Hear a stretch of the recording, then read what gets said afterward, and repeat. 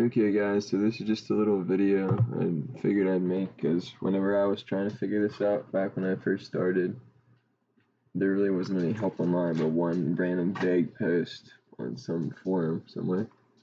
So I'm just plugging my quad in here.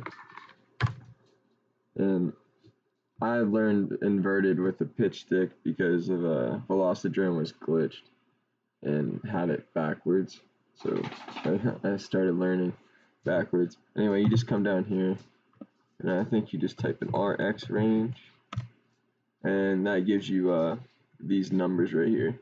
And each one is uh, corresponding to,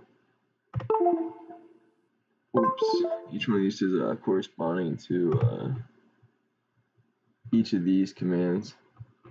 Also here, if it, these are ever not matched up, you just reorganize these letters right here. But anyway, I always do pitch, so it's always the one. So as you see here when I hit RX range, whoops, I'm already reversed on this one. All you do to reverse it is type what it is.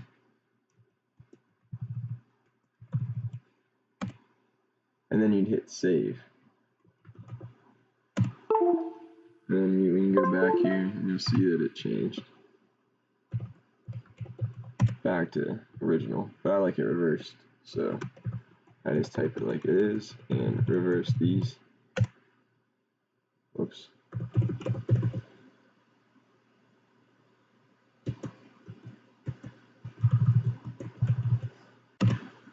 There we go. Now hit save.